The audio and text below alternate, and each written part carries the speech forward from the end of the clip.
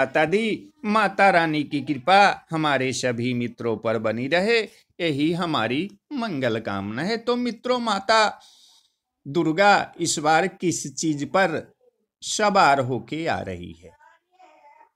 तो कल हिंदू नववर्ष भी है। सबसे पहले मैं हिंदू नववर्ष की शुभकामनाएँ अपने सभी मित्रों को देता हूँ कि माता रानी की कृपा से हमारे सभी मित्रगण, समस्त भारतवासी का घर, धन, वैभव, यश से भरा रहे और सभी व्यक्ति को मान सम्मान मिले।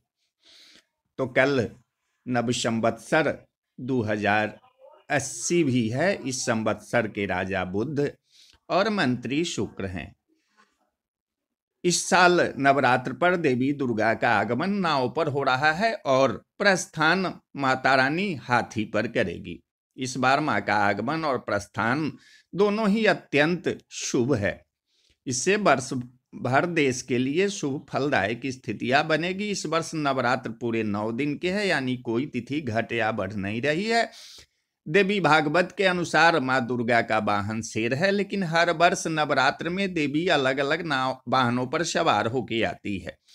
नवरात्र में देवी किस वाहन पर सवार होके आएगी? इस, इसके दिन तय है। देवी भागवत में एक श्लोक है कि शशि सूर्य गजारूढ़े शनि भव में तुरंग में गुरु शुक्रे दोलायंग बुद्धे नौका प्रकृतिता रविवार या सोमवार के दिन कलश की स्थापना होने पर देवी दुर्गा हाथी पर सवार होकर आती है। देवी का हाथी पर सवार होकर आना शुभ होता है। यह अच्छी वर्षा का प्रतीक है। साथ ही मेहनत का फल और माँ की कृपा प्राप्त होती है। शनिवार या मंगलवार के दिन नवरात्र प्रारंभ होने पर देवी का वाहन घोड़ा होता है। माँ दुर्गा का घोड़े पर आना सत्ता परिवर्तन या युद्ध का प्रतीक है। यह विपक्ष के लिए शुभ और सत्ता पक्ष के लिए प्रतिकूल स्थिति बनाता है। बृहस्पतिवार या शुक्रवार के दिन अगर नवरात्र शुरू हो तो देवी पालकी में बैठ बैठ कर आती है। यह शुभता का प्रतीक है। इससे महामारी, आप, प्राकृतिक आपदा, उपद्रव, दंगे जैसी स्थितियाँ पैदा होती है। इसी प्रकार बुधवार के दिन नवरात्र की शुरुआत हो तो देवी दुर्गा नाव पर सवार होकर आती है। देवी का नाव पर आगमन सब तरह से शुभ होता है। भरपूर बारिश और अच्छी फ़सल होती है। कष्ट दूर होने के साथ साथ सभी मनोकामनाएँ पूरी होती है। यह स्वाभाविक है कि जब देवी का आगमन होगा तो इनकी विदाई भी होगी। माता की विदाई दशमी की होती है। उस दिन रविवार या सोमवार हो तो देवी भैंसे पर सवार होकर जाती है। इसका प्रभाव राष्ट्र पर अशुभ होता है। यह रोग और शोक कारक स्थितियाँ बनाता है। शनिवार या मंगलवार के दिन दशमी होने पर देवी की सवारी मुर्गा होती है। इसके अशुभ फल होते हैं। इससे दुखों और कष्टों में वृद्धि होती है।